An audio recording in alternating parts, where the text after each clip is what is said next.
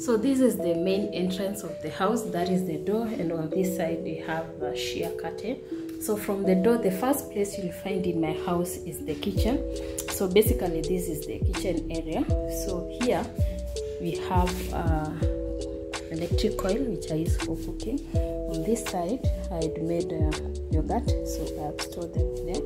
And then you come to this other side where i do do have a storage of items for cooking starting from the top i do have cutleries. These are the spoons forks scissors. And then on this upper side i do have cups. And then that side is the glasses. And then on this side on this downer side i do have uh, plates and all those.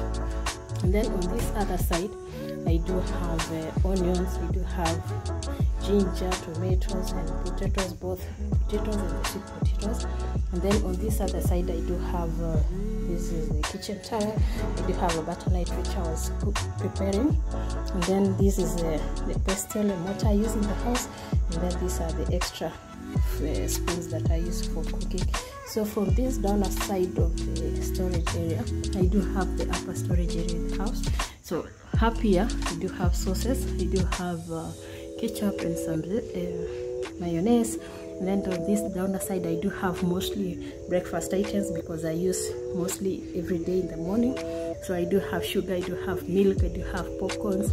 I do have uh, all those items you put in tea and then on this side that side of the drawer is where i put mostly uh, what do you call uh, the spices. I do have bay leaves i do have chili I do have things like parsley i do have uh, oregano and all so this is basically the storage area for spices. When i'm cooking i know this is spices and then for breakfast i know this is the items used for making tea.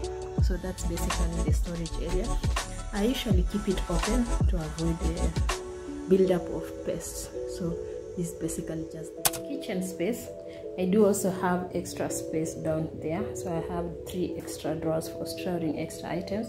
So from the kitchen on this side as you come to this side I do have a table. And then the, with the table I do have a TV set. And then I do have just this stool. And then on this downer side of the table i do have uh, a wing kitchen wing scale and then also this one i'm storing all those types of uh, nail polish. So that is just a basic setup of the table. So from the table you come to this other side whereby i do have uh, a storage space. It's a three tier storage space. So on the top i do have this bag. It has uh, those very important items of the house and then i do have books and novels on the upper side. And then on this side i have been able to arrange uh, my clothes dresses and all those other items. So it's a very nice space. From afar you can see it's very beautiful. And then on the other hand i do also have a briefcase so i did just put uh, a sky plaster down here to help it to elevate it so that i don't keep bending down with looking extra clothes and then those black ones are my tripods i've put there. And then from the briefcase i do have a collection of shoes. I don't have many house uh, shoes in the house just a few. So uh, all those are the shoes that i have